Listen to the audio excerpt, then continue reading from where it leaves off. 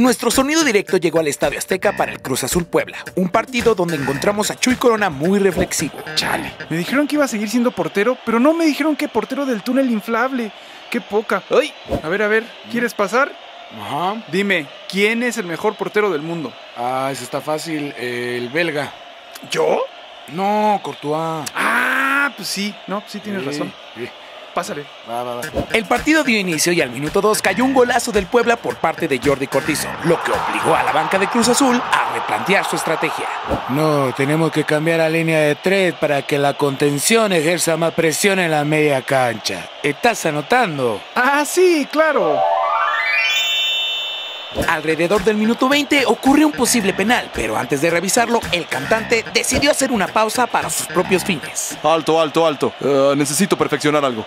Hacer eje, a, deje, dejebe tu, dejebe de sevi, una Obama, Javi, and the boogie and the dibi. Sí, sí me lo sé. ¿Todo bien? Sigamos con el juego. Más tarde, Rafa Vaca tuvo un percance en la cancha que lo dejó fuera del juego y con la cabeza muy fría.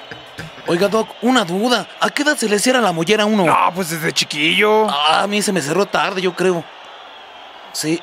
Y con un doblete de Santi Jiménez y otro gol del Puebla, el Chaquito se va despidiendo del azul y nosotros desconectamos nuestros micrófonos.